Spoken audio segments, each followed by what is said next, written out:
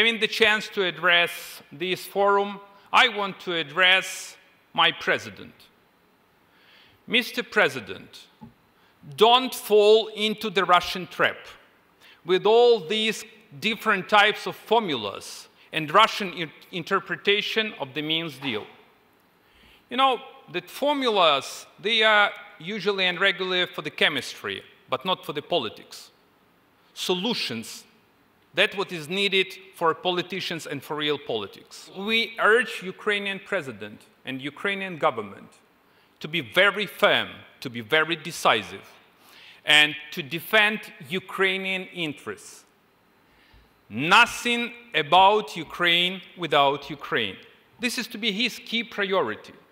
And I strongly believe that the, that the president fully understands his responsibility, and the president will do his best in order to protect and to defend Ukraine, in order to protect and to defend the oath of the office that he gave a few months ago.